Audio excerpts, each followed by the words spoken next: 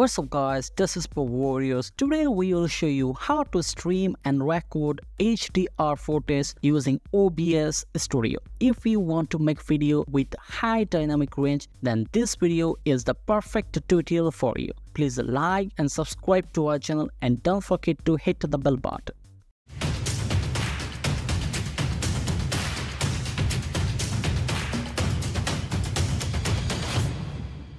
Starting with OBS 28.0, users are able to record and stream in high dynamic range, but HDR recording is only supported on NVIDIA 10 series, which is equivalent to AMD 5000 series. Another thing you will need HDR supporting monitor and these settings must be enabled. The very first step is to download and install the newest version of OBS Studio. I have given the direct link in the description. Please go through the link and download the install package according to your operating system. If you already have OBS Studio in your computer, then check for updates. If it's not recent version, definitely you have to update it. The second step is enable support for HD within OBS Studio. Navigate to the file which is at the top right corner, open settings, then click on advanced settings under the color format. Make sure that is set to P010 10-bit option. Actually, it represents high dynamic range recording system. For color space, select recording 2100PQ and select full for color range. Once you have done that, click on the apply button to save all the changes. The third step is configure the output. Click on the output option and change it to the output mode to advanced mode. Switch to recorder tab. Here set the encoder to NVIDIA NVENC or whatever the equivalent for AMD. You can also experiment with the encoder encoder settings to determine your desired file size as well as the quality of the video. When you finished, click on OK button. The fourth step is set up sources. At this step, you have already enabled HDR support with OBS.